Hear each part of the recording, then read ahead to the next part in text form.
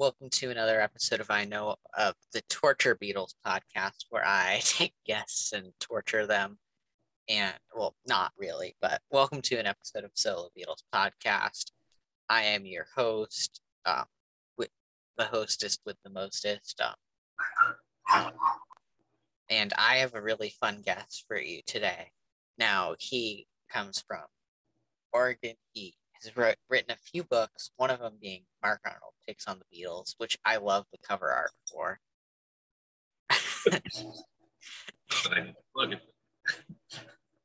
um, Mark, welcome to the show.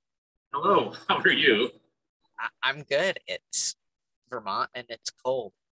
Hey, well, all I've seen of Vermont since I've only been to Massachusetts, Connecticut, uh, Rhode Island, and New York, uh, is on Newport. So I don't know. Maple syrup. All right, there we go. Yeah, I, my plan was when I went there. Uh, this is back in like 2009 or something. I was going to go, and then there was a freak late snowstorm in April, and it canceled on my plan. So I did not go to Vermont or New Hampshire or Maine. So that was the end of that. And if you if you hear dogs in the background, those are my dogs, and they're quiet as church mice until I get on the podcast. So there we go. So you're gonna hear. Mark, um, do you want to plug your podcast because you do have a really good podcast? I have a podcast called Fun Ideas Podcast. I started in 2018. Uh, people ask me all the time, what's the main subject? And I go, well, it's anything I'm interested in. So it could range all over the place, but typically it's about comic books, animation, movies, TV, and music. Those are kind of the five subject matters. And but I can veer off if somebody has a good talk about, say, matchbook covers, which actually was a show. We're going to talk about it. So you haven't talked about um, animals yet. I don't think. Animals, no, I have not.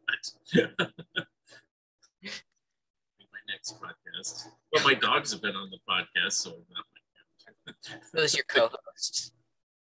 Yes, and they interrupted one podcast completely that I actually. It was a longer one, so I actually used it as a natural break, saying part two next week because the dog stopped my podcast. So it, it turned out it was just because the mail person came to the door and it was fortuitous timing because it had already been a couple hours. And I said, well, this is a good natural cutoff. And then we got the dogs quiet into the second half, but Wow.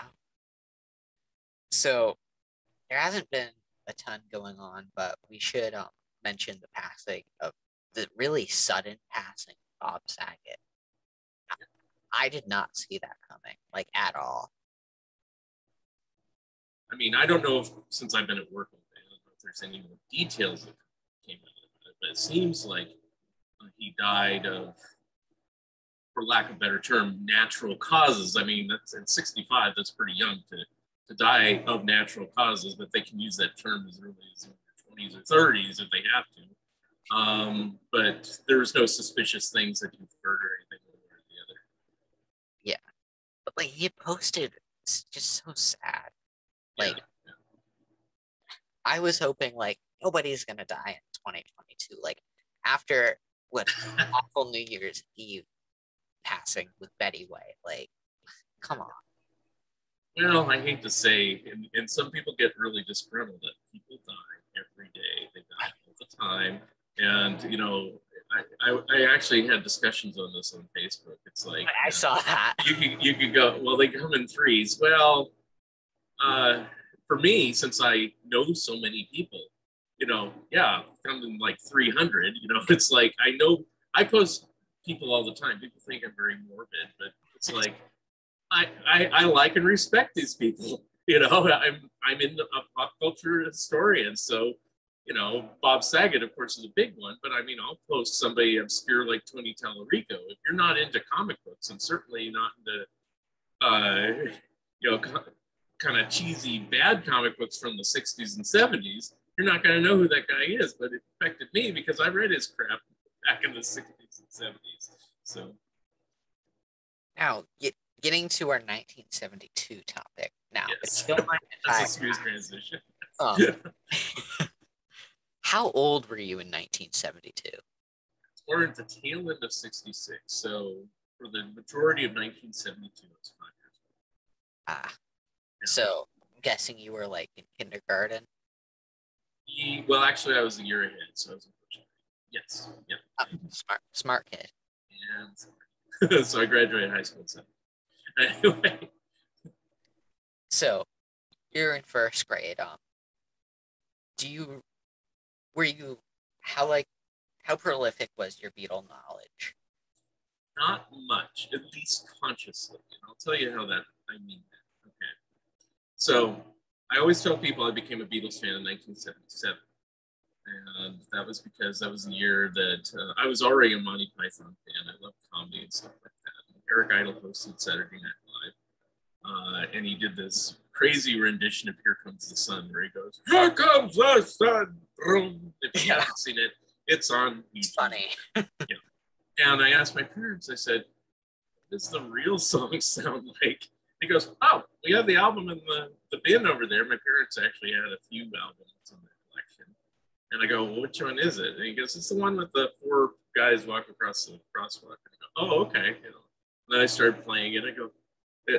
I, I, start, I played Here Comes the Sun. I go, Oh, I know this song. And I said, Well, what else is on this record? And I flip it over. I start with Come Together. I go, I know this song, and the next song something. I know this song, and then the next song, uh, I think is "Oh Darling." Is that right? Or Maxwell Silver Hammer. Yeah, I had never heard that before, but Bang, I thought bang. it was a cute song.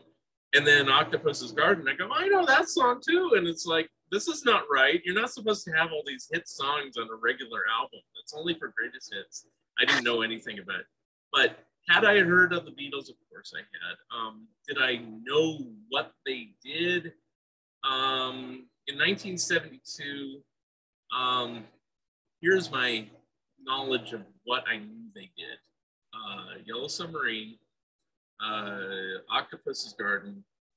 Uh, actually, I didn't know they. Well, yes and no. I'll say yes and no. um, uh, I knew of Uncle Albert Admiral Halsey, and I knew of Imagine, but I didn't distinguish Beatles or solo. I didn't know that concept. I kind of vaguely knew that the Beatles were a big thing in the 60s and weren't together anymore. But that's pretty much it, you know, because I mean, I'm five years old. I mean, I don't even know if your Beatles. I don't know when your Beatles knowledge started, but I mean, was yours that knowledgeable at age five? I, I wish, but um, yeah, so there you go. Um, so my I'll allude into my story a little bit because why not? Um, ninth birthday, of course, it has to be number nine. I got the Imagine album. Um, my grandfather got it with like little Snoopy record player, and year later, I got Pepper on the 50th anniversary, and oh, that was worn out, and I have not stopped since. So, I mean, age wise, you probably got into it about the same time I did. Timeline wise, of course, you know. So, 1972, my mom listened to uh, AM radio voraciously, and she bought seven inch singles. She didn't necessarily buy Beatles or Beatle related ones, but uh, songs I remember they used to play that I liked. Um, and I don't know if you've heard these. If you haven't, well, you know, look them up, of course. Um, Popcorn by Hot Butter. I like that synthesized That's sound.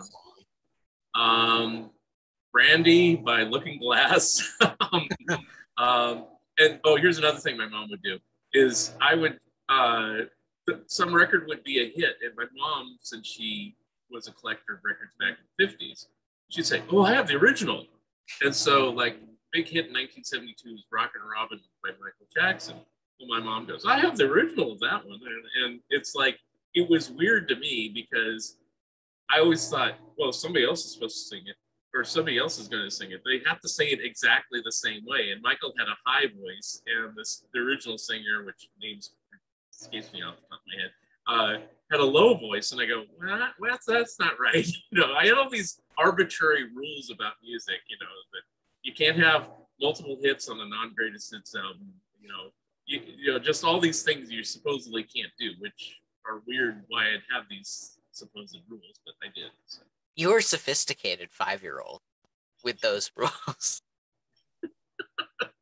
uh, um, but I mean, it's like I did do regular kid things. I mean, um, like I liked kid magazines, like the big ones at the time, and I think they still publish this, like Jack and Jill and highlights and things like that.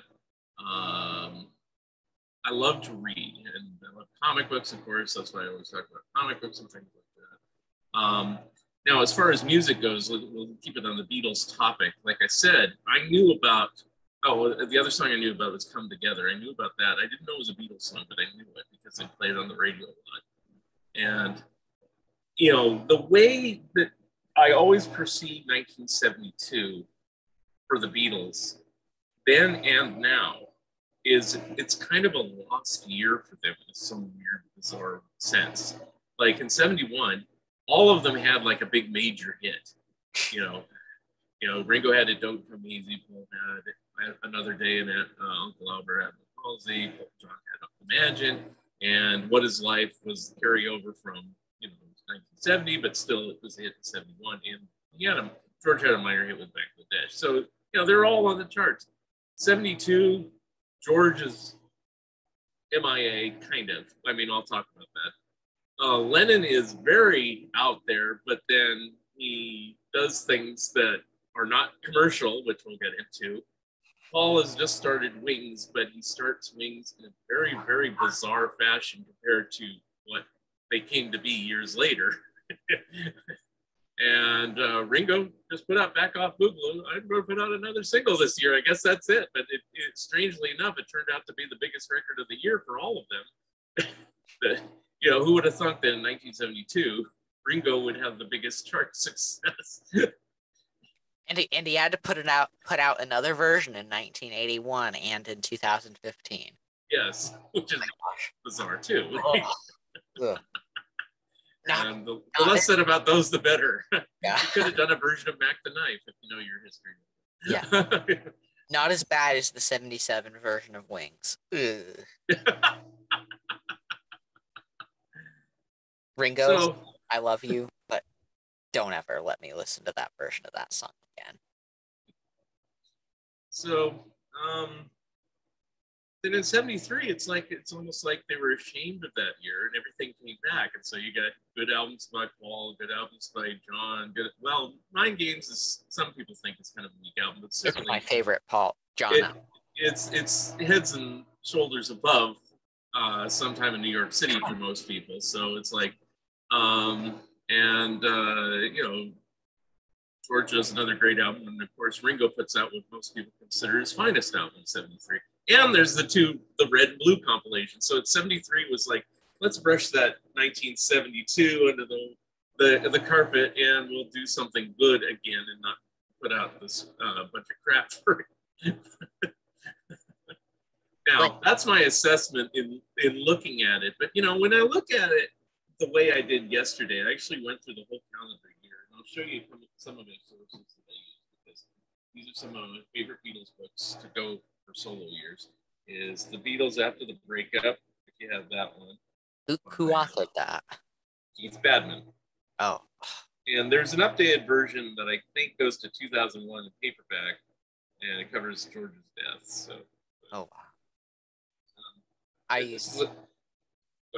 I use good old eight arms to hold you. Okay. And then this is a classic book that this is like one of the first books I ever got. Beatles Forever by Nicholas Schaffner. Oh. He died way too young. You're talking about Saget dying young. I mean, this guy died like at age 38. So it's like. Wow. I need to get that book. It's a very good book. It's not too expensive. This is another classic book, but it's very good. Beatles on Record from Mark Wallgren came out about 1982. Um, some of it's a little bit dated well, I mean, all of these are dated because you know they only go so far. But I mean, it's like they're they're they're handy. I mean, I like this book because it shows all the picture sleeves and the. Oh, I love. Them. Yeah, and it, it gives the chart positions. It's really nice.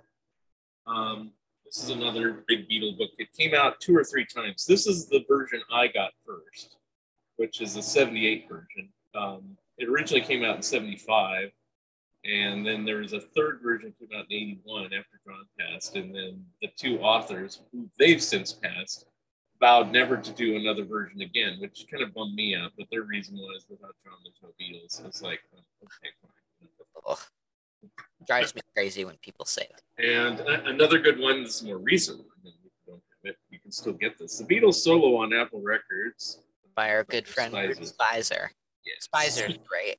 Yeah, so those are the ones I kind of looked into to do my research from 1972 because without doing it, I was just saying, what came out that year? Jim Lennon put out an album and he did a couple concerts and that's about it. And I didn't even think about how hard, you know, it was, you know, but when looking at, you know, they were busy that year. It's just kind of an oddball year about putting out new materials. So, In many ways, like you can look at the 70s as being kind of on and off, like except for 70 and 71. Like you obviously have 72 was an off year. 73 was probably the best solo year for them combined.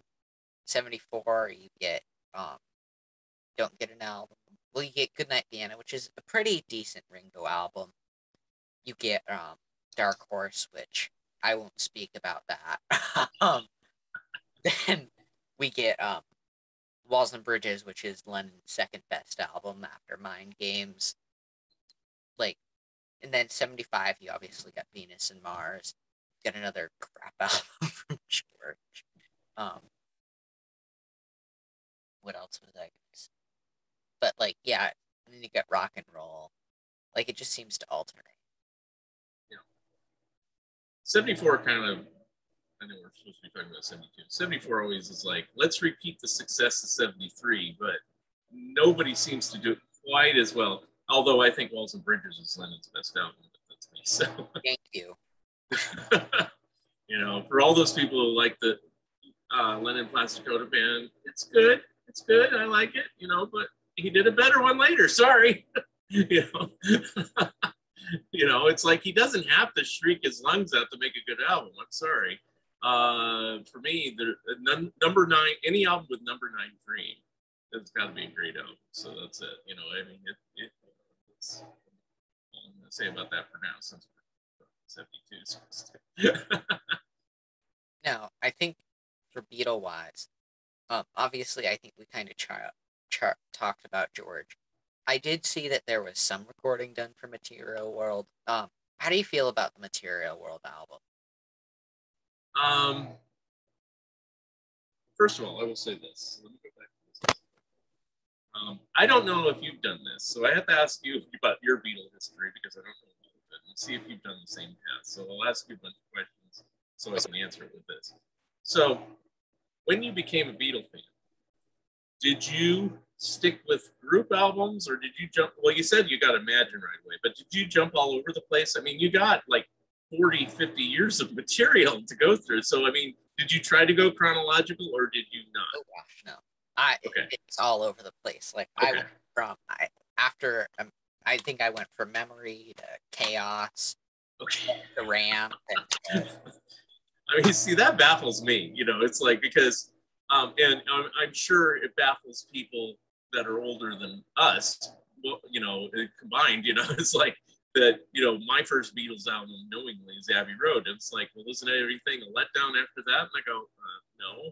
But you know, it's like, yeah, it is kind of odd to to get the wrap up of their career at the beginning. But it might be a reason why I appreciate the solo album so much because it, it, you know, after Sergeant Pepper and Magical Mystery Tour, I guess, kind of goes with that. You know, after that Summer of Love and everything like that, they still put out a couple more albums, but they weren't very unified even then. And you know, any of them, White Album, uh, Abbey Road, or you know, Let It Be, Get Back, whatever you want to call it. I mean, obviously, there's times where they sing together, like on Two of Us and stuff like that. But it almost seems like they're kind of going through the motions to a certain extent because they all kind of have the solo career kind of on the back burner. Like I could just do that, you know. I think even Paul, even though he probably wouldn't want to admit it, have like, man, if I could get with another group of guys, I could get 30 more tunes out, you know, because you know, they're holding me back, you know. He wouldn't have been it for the life of it. Like no, because he loved being in the band. It, you, it's evidence from this uh, the new Get Back footage that no one ever saw until recently. But still, you know, you got to wonder in the back of his mind. It's like it must have been once he got sensible about it, saying, "Wow, I can release any anything I want to," which annoys some Beatle fans. You know, it's like, wow, he puts out every little piece of noodling he's ever thought of. You know, nowadays, and he doesn't have a filter. Yeah, I get it, but you know, it's like. Did Did you see his Instagram filter, like his um story on social media on New Year's Eve? Is that the one where he put it, the various faces on himself? yes, yes, sister. that was funny. Somebody subtitled it, or maybe he did. You know, McCartney gets up to 21st century technology finally, or something. It's kind of kind of a harsh slam because actually, you know, in a certain respect, McCartney was actually the forefront of a lot of technology uh, that you know sometimes Lennon gets credit for things like that. I mean, um, stuff. Like look at um the uh, taking picture and a urinal picture of driving rain. I mean that that was high technology for that time. Well, even you're wearing the McCartney 2 shirt. You know, yes. As much as people badmouth things like uh, they're not usually badmouth coming up, but they badmouth other stuff on that album, and they certainly badmouth "Wonderful Christmas Time," which was recorded at the same time. And it's like this is innovative, dudes. You know, it's like unless you were like Devo or somebody that was like, or Kraftwerk, or was you know wanting to do that, you know, for a Beatle to do something that sounded remotely like this. I mean, it did get, you know, that album got Lennon, you know, you know, alert enough to actually want to come back into the studio. Who knows if he would have done it for another few years if he uh, didn't hear coming up and things like that. So anyway. I think McCartney 2 is a very strong album. Yeah. One of his. So I asked you that question about, excuse me, jumping around. So when I got into being a Beatle fan, I obviously didn't have endless supplies of cash even then. I mean, that's it, one wonders how you managed to get all the albums now, but I guess you could stream everything and you don't have to that, That's what I've mostly done, but like. So I get it. You know, back in those days, back in the 70s and my day, you either had to buy the album, hope for it to be on the radio, or um, if the library happened to have, and that's my that's where I got things. Is I go to the library and get scratched up copies of different albums. Some were pretty good, but I remember um, what was the album? Um, geez, I can't remember. It was one of the one of the I think it was Wings of the Speed of Sound or something. One of those albums. It's like it was so stuffed up beyond belief that I hated the album until Oh, I know what it was. It's 33 and a third by George Harrison. It was like, it was so scuffed up beyond belief with skips and everything. I hated the album, but it's because I heard it so atrociously. And then now it's like my favorite George album. So, Same here. That's, so, I'm going to make a plastic do a show on that. So, going back to this now. Okay, so if you've ever, if you've never read this, I recommend it. There are a few errors in it, but uh, the cool thing about this book is they don't hold back their opinions about things. Uh, although, if you don't agree with those opinions, sometimes you're like, her.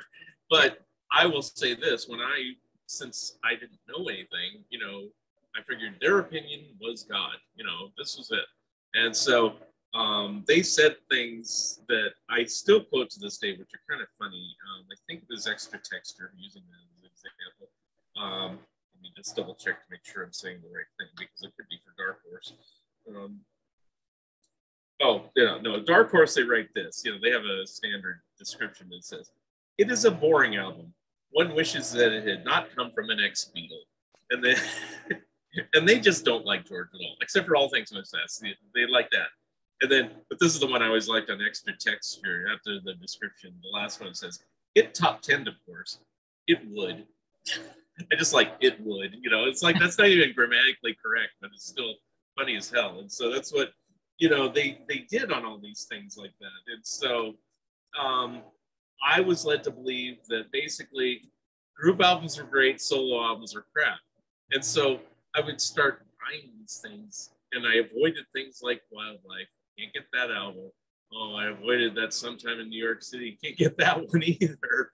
But the problem is, after a while, you get all the ones that are supposedly good, and it's like, all right, I got Band on the Run, I got uh, Plastic Ono Band, I got Imagine, I got Things Must Pass. There's like 30 other albums here. What, what you know, the, the, and some of them charted really well. And it's like obviously somebody liked them, and um, you know, some songs that are universally maligned, like silly love songs, I actually like. So, that, know. that would be a top five McCartney tune for me. Yeah. So, I mean, I, so I go, I can't trust critics. I just have to go by my own opinion. And that's part of the reason, you know, get another plug in the book, why I did that, because, you know, the, my Mark Arnold picks on the Beatles, because I said, you know, I like this where somebody else doesn't. And it's like, you know, so I don't know. So, you know, I, I have this kind of weird vibe about 1972 based on what I read more than what I heard.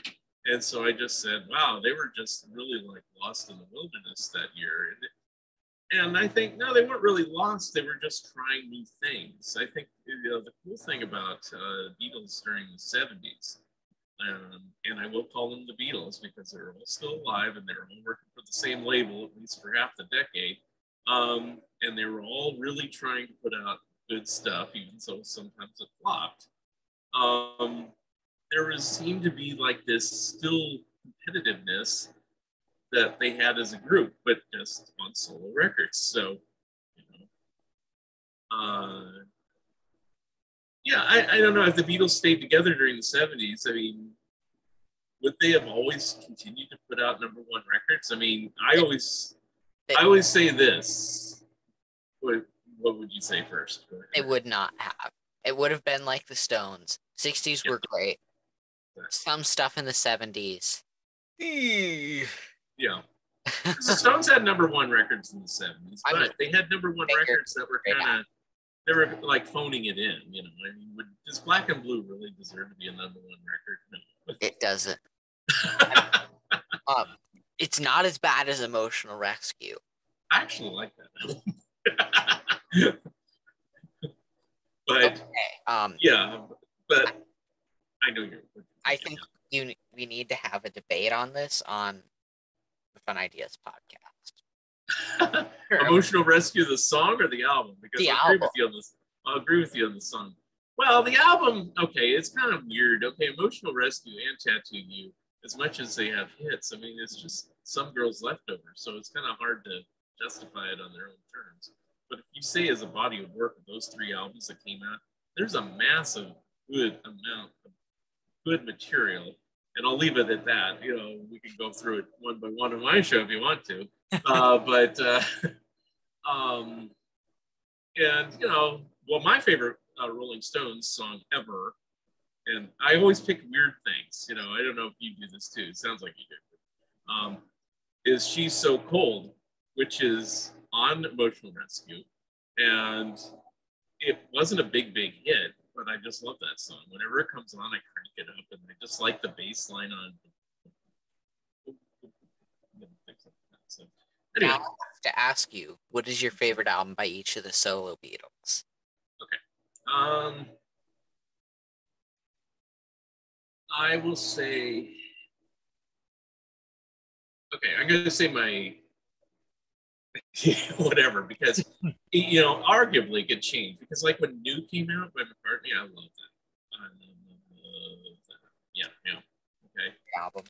Um, my only complaint about it is like, oh, I wish his voice was as strong as it was in the '70s. So it's like, you know, it's like I, early days would not have worked in the '70s. Yeah. So you know, um, and so I mean, I'll give you my traditional favorite solo albums, and then I'll give you probably over time because obviously some displace this. Okay. So, uh, John, okay, Walls and Bridges. And this is after listening to every album. It's like the, it's not like oh I came to Walls and Bridges. In fact, the first time I heard Walls and Bridges, it's good, you know, it's funky. And then it was over time. This is and this is an assessment of listening to these things over and over and over and over. so it's not like just a, oh, this is it. And I can find weaknesses on every one of these albums that I are my favorites. Um, That, that's why you pick on the Beatles. Yeah, Paul's my favorite Paul album is Venus and Mars. Good choice. Uh, favorite George album, 33 and Third. And favorite Ringo album is Goodnight Vienna. Yeah. Really? yeah. Strangely enough, those are all in this little 70s pocket of like 74 to 76 in there. So that's why I say if you go long term, um, so for I'll go by each of them. So did Lennon put out another good album after Walls and Bridges? Mind games. Well, that came out before. I mean, Oh. after. after.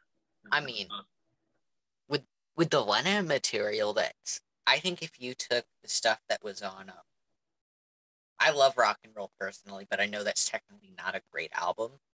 But I love, I love Lennon doing all that old rock and roll stuff. But like, I like it mostly. It's not my favorite. I wouldn't put it up as it's like a Ready match. Titty Rip It Up. If you put that as just a track on, say, Walls and Bridges instead of Ya Ya, you know, a, a throwaway Ya Ya, I'd be like, Yeah. you know, But like, um, if you took the stuff from Double Fantasy and the stuff from Milk and Honey, I think, and he wasn't murdered, and like it was happy, Yeah. like that would be a lot stronger on my repertoire. so you know, for me, I have difficulties. That's a whole show too to talk about double fantasy. So you know, but I'll say that double fantasy. I listened to it recently. I can listen to it now, but for the longest time I couldn't. Um, There's an emotion. Even- and I'm just going to talk about strictly as is it is. I'm not talking about Milk and Honey. I'm not talking about anything that came out remixed, remastered, uh, stripped down, whatever they've done. It's the real original album. Um, there's some good stuff on that album, and Yoko's stuff. Some of it sucks, some of it's good. I don't. There is one review that came out when that album came out, right before he died. So it's a legit review. And I always like this phrase. I don't agree with it 100%, but it's like you have to skip over Yoko's junk to get to Lennon's gold. and I said, you know, when I got the album and heard it originally, I go, I can see their point because Yoko's voice, even when she's not shrieking, isn't everyone's taste. Um, I've grown to love Yoko, but uh, and I have all her albums, but I can still see why it's not everyone's taste. Although I did convert a couple people because I, I used to burn copies of. If Yoko did a greatest hits my way, uh, not the one she actually put out, the Walking on Thin Ice collection, because I think she put some shit on there too. Um, that if if she did the collection my way, I think there'd be a lot of people. Going, Where's this lady been all these years? You know, this is pretty. Now they kind of did that later. I know we're going on a Yoko tangent now, but you know, with Yes I'm a Witch and all those compilations like that, that that kind of showed off, you know, kind of her strengths as a as a songwriter and and stuff like that that not everyone sees right away because everybody sees the Lennon stuff because most of the time when she's on the Lennon record, she's shrieking her guts out, and it's like, you know, what you can't convert anybody if that's all they hear. you know? Yeah. But uh, uh, her favorite album, since you know, even though you didn't ask, is uh, approximately Infinite Universe. So there we go on that. So, um, okay, so Lennon, Double Fantasy could have been a contender for almost his best album, but you know, it, it it's still twinged with the what if, and you Yeah. know, there's gonna and and you can't really do anything about that, unfortunately. Um, the best is on that Lennon box set where they put the Double Fantasy and the Milk and Honey tracks together on disc four. Was that the anthology? no, this is the one called Lennon. It's just it has his face on the cover with the hat. Oh yeah, yeah, yeah. And uh, disc four, they put all the, the, the just the regular uh, uh, double fantasy, his tracks and his Milk and Honey tracks, and then I think they add every man has a woman at the end, his his version. Yeah. As a bonus track, as it were. So there's 14 tracks, yeah. And if you listen to that, you know, is that better than uh, no, because the, the, I have problems with Milk and Honey. I mean, I like it that they released unreleased stuff, but it's like it's an unfinished album, and it's It like is. the only the only song that sounds good to me on that album really is uh, "Nobody Told Me." Or The rest of it, which is which is just a tearjerker, knowing what happened after. Yeah. I still have a hard time listening to Double Fantasy all the way through. I have yeah. to shuffle it. Yeah. I'll be honest. Well, for me, it's like you you weren't there at the time. You know, it's like I couldn't. You know, I, I told this story pretty recently. Went on on the anniversary in December, and um, here, here's what happened. So, uh, you know, I was already a Beatles fan. I had all of Lennon's albums by 1980, and uh, my mom knew it. And my, my and by 1980, I was like 12 to 13 years old. So I was already shopping for my own music. And so my mom actually told me, she goes, I know your birthday's coming up. I bought Double Fantasy. Don't buy it. So I knew I was going to get it, but she did that so I wouldn't go and spend my own money getting it and you know, spoiling, you know, so she spoiled the surprise. Yes. Okay. This was in November, you know, so it's like, I go, oh, I can't wait till Christmas. Ah, I can, you know, of course, granted, they're playing, at least they're playing just like starting over woman and watching the wheels. I think they're playing on the radio pretty regularly, even before the murder.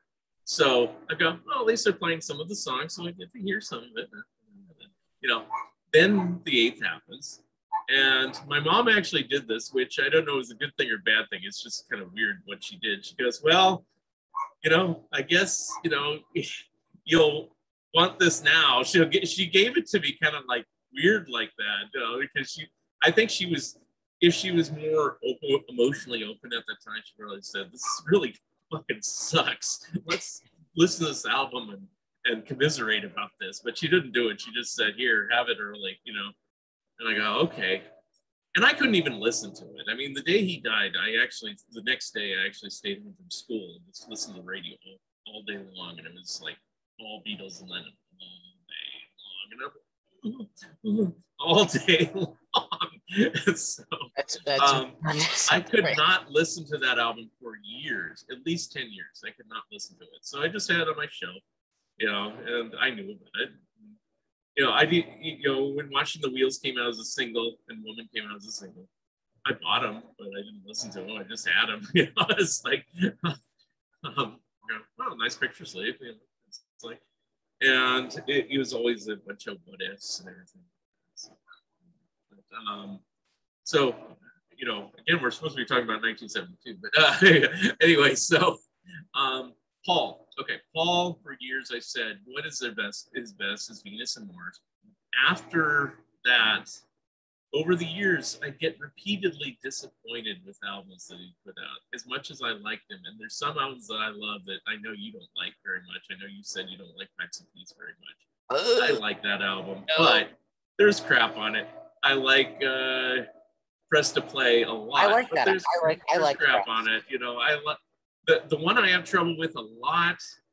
Um, okay, well, going through McCartney's career, I think he should have put out Tug of War Pipes of Peace together and made a big grandiose double fucking album and just kind of made this definitive statement called War and Peace instead of this namby-pamby thing. Because then everybody'd say, what a great album. He reprised Tug of War as Tug of Peace later on. Instead, now it sounds like a stupid retread. you know? and it would have just been this big, hmm, you know, a big statement instead of just kind of like you get a home run with tug of war and then like a bunt with t- pipes of peace. But pipes of peace is a great track, and I think uh, "Say Say Say" is a great track. Should be on the McCartney album, but when you put the albums together, then you go, hey, guest starring Stevie Wonder and Michael Jackson. Oh, now it kind of fits together instead of just you know. and hey, also Carl Perkins, you know, now it's a all-star show. Okay. Anyway, that, that these are all my opinions. They are all in my book too. Anyway. Okay, the other missed opportunity. Um, a lot of people like Flowers in the Dirt. They don't like Off the Ground. I have trouble with both of them.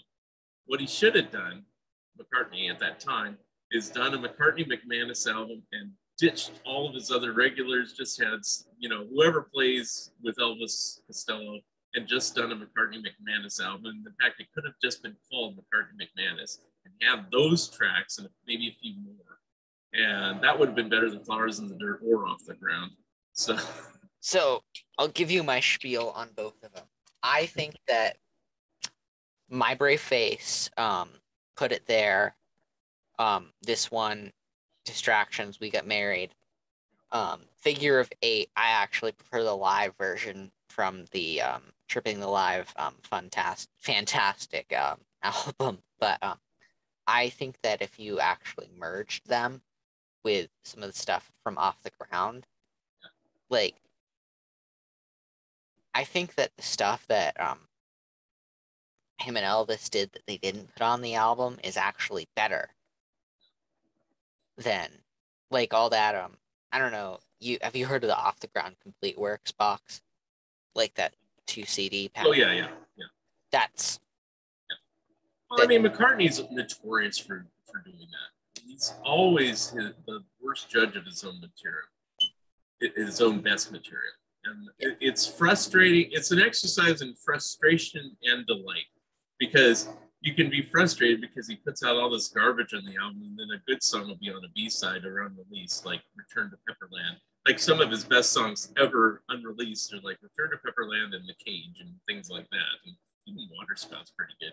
And you know, they're just all sitting there in the can, you know, waiting to be released some decade, maybe somewhere, you know. But it's like, you know, when you look at what actually was released on a lot of these albums, you know, did you release that garbage and you didn't put out this track? And it's like you see it all the time. Off the Ground's a perfect example. He had, it, you know, all these songs on the B side. Some of them are kind of lame, like Long Leather, you know, big boys bickering and everything. But you know, he has uh, the the the long version of Cosmically Conscious just thrown on some you know, just there's a little snippet on the album or whatever. Maybe that's not even on the album, but it's it like uh, at the know, end. Um, oh, okay, yeah, it is on the album. Whatever the last song is. Yeah, but the full version is kick, kicks ass, and it's like get off that stupid cat with the machine in its brain and put that song on there. You know, I hate that cat with the machine in its brain song. You know, I know he's trying to be politically whatever active and stuff like that, but it's like Paul, your best writing Beatley type tune. Sorry, sorry, you're not good at uh, political anthems. Sorry, you never were you never are. um, and to, to go back to 1972, give my give my regards to Brosnan. No, that's not what. give Ireland back to the Irish is what I meant to say. Just is not very good. no, know? no, it's not. Anyway, now, um, let's see. So, um, I think okay. So then we went through the anthology. So Paul McCartney got reinvigorated. I think Flaming Pie is one of his best albums he ever did. Thank you. I think it is his best. It's. Tied with Memory Chaos and Back to the Egg for me. And then let's see, after that, I think he had a lot of what I call wilderness wanderings again. I don't think he uh, Heather Mills did him a bit of good. I know you like Chaos and Creation in the Backyard. I think it's one is on the par with uh, um, what's the one that came out before that? Uh, yeah, Driving Rain. I think it's like he's in a pot on that. And finally, Memory Almost Full, uh, finally, you know, makes amends to his career for me. Yeah, I love that album too. Yeah. Except for Gratitude. That's god awful. Well, you got to have the requisite bad pulse on, you know. you could have done the Danny Elfman Gratitude. Yeah, like for me, three good albums that he had consistently were Chaos, Memory, and this. Yeah. Really good. That's actually a surprisingly good fireman album, yeah. And then um uh, then I think barring Kisses on the Bottom, which he should have recorded about 20 years sooner. Yeah. Um, you know, it doesn't have bad material on it, it's just sung badly.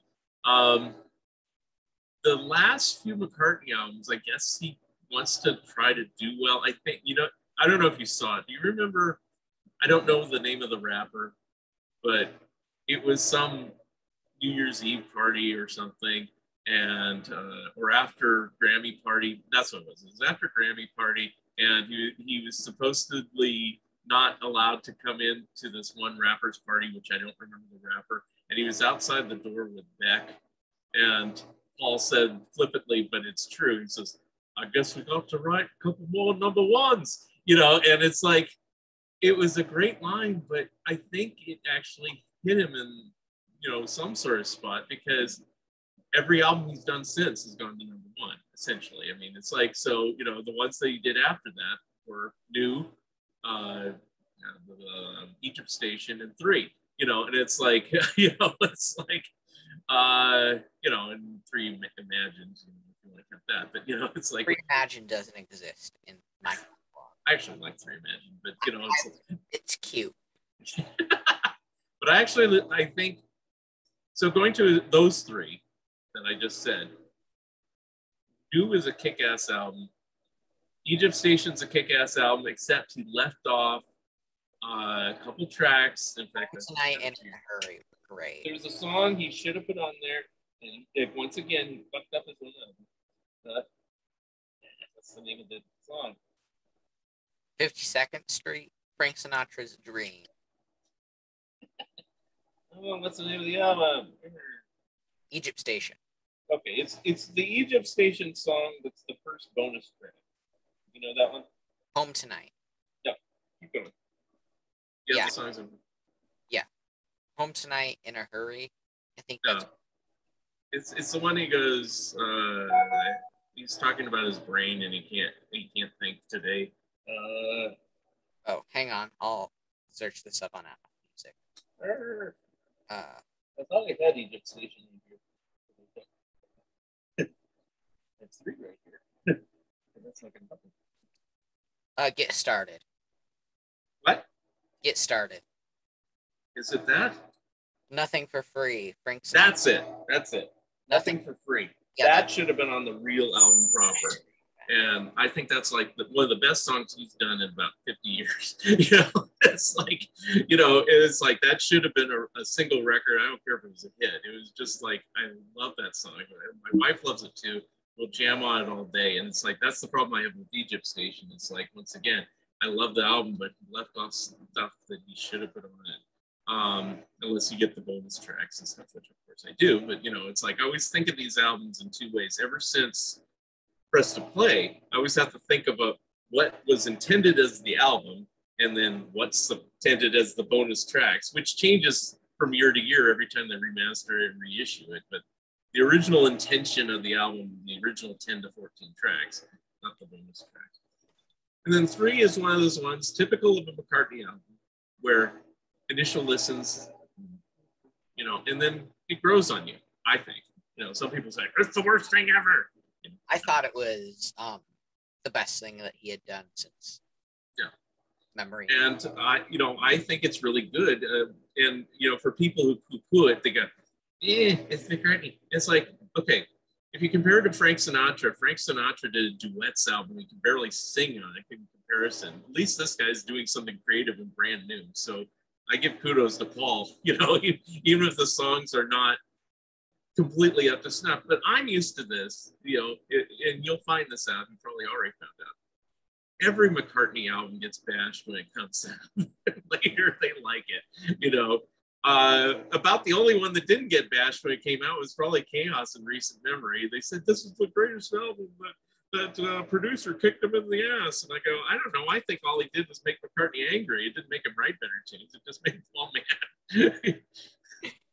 That's um, the, first question I asked Brian when I talked to him earlier today was did um he was like, ah, I would just stick to the rumors. um, on Chaos, I will say, even the worst albums, in my opinion, um, have something redeeming about them. So I love um, Fine Line. I think that's a great song. So they said so. anyway. We're gonna have to have a debate about this too. yes. Okay, that's a good show. Yeah. Um, I know it's an I know it's an unpopular. You know, it's like you don't have to tell me. You know, I have an idea. you have the popular opinion. I Yeah, have that's one of his best. Yes. So now going into the last thing we haven't touched on is the big bomb, which a lot of people talk about in um 72, sometime in New York City. Oh wait, wait, wait! I wanted to finish George and Ringo. You can't. Oh yeah. Oh, yeah, oh, so- oh, oh. Yeah, just post post 33 and third. I'll make it quick because I know we've been jabbering on other things. So post 33 and the third, the one that comes closest. I mean, you know, Cloud Nine's good. You know, it's a little schmaltzy in spots, and I don't know, got my mind set on you. It's good, you know, but you know, it's not written by George. It's kind of, it's almost like, all right, you want a hit? Here's a hit. You know, it's like I'll just do somebody else's song. So I think the best one that comes up to 33 and a third for my money is actually Brainwashed. Thank you. You know, it's like, you know, yeah, it's posthumous, but I mean, it's like he let left blueprints out there. My only complaint on that, because I'll have a complaint about everything, is they should have put Torch to the Water on it or reissue it now and put it on there. What, what they should have done is, as much as I think Brainwash, they could have put um, Horse to the Water to close it, I think. Like as his last song. Brainwash is an act is a track that gets bashed a lot that I think is really great. And I think it's better than Cloud I hate to say. There's a lot of meandering fluff. I think in a certain respect, you know, barring the big hits that everybody knows on Cloud Nine, some of the tracks are on Gone Troppo are better. some things on Cloud Nine. I will leave it at that. But um, anyway, but I like George. I think I think of all the Beatles solo, strangely, I think George has the most consistent career. I would Dark agree. Horse, barring Dark Horse, where he he should have. I always begged for years that he would re, go back in the studio, re-record his vocals, and he never did. but yeah, what about for good old Rich, Ringy? Ringo. Ringo. Okay, so Ringo actually had this astonishing kind of comeback, you know, where he did the Weight of the World and Time Takes Time, whatever. And then he got even better when he got Mark uh, uh, Hudson. His face? Hudson with him, you know. Uh, so my favorite latter day album by him is Vertical Man, or I, Ringo Rama. Ringo Rama's actually, and then Vertical Man's up there too. And I even like the Christmas album. And then when Ringo starts producing his own stuff, you know, it seems like he records like 10 tracks every couple of years, and maybe two of them are worth a re listen. And the rest are just like, here I am in Liverpool again. I'm singing another song. It's not very exciting. And then the next song is Peace and Love, Peace and Love, Peace and Peace and Peace and Love. I'm surprised he's never called an album Peace and Love, you know. but anyway, and I love Ringo. And it's like, I, I think personality wise, he's my favorite Beatle. But, you know, it's like, Ringo, get somebody else to produce your record. you know? Like, sound wise, I think they're great. Yeah.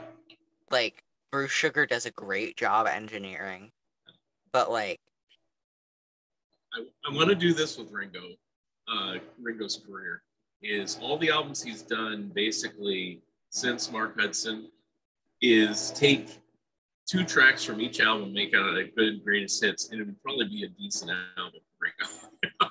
that would be on the par with Ringo or Good Night Vienna or any of the others. Because you know, there's songs like Anthem I like. I like uh, you know, it's usually the first track off of every album. If you want to know which his best tracks are on every album, just the, the ones that came out in the last 20 years, just the first track on every Ringo album is his best track. So there we go. Anyway, so that's that's let's go back to 72. That's all I wanted to say about that. So. Seven um so sometime in New York City, uh what are your feelings on this interesting record? okay, so again, using this as an example, they hate them. They hate it. They hate it. They hate, hate, hate, hate, hate. Um, in the late 70s, when I became a Beatles fan, Apple Records was going bye bye. So it was a challenge for me to get new copies as best I could on Apple Records of these solo albums because they were slowly being usurped by reissues on Capitol Records that didn't have all the stickers and the booklets and the posters and all the other nifty garbage that they used to put in record albums.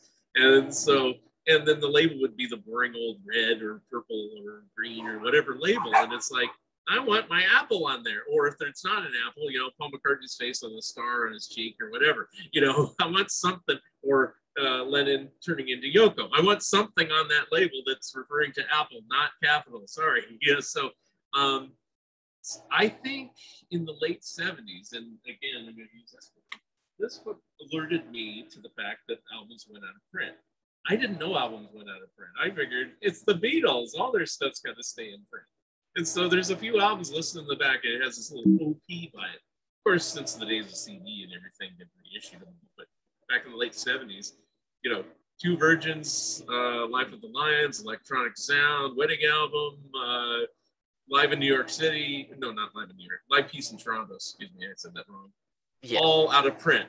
And sometime in New York City and Let It Be and things like that were also out of print. Yeah. These things?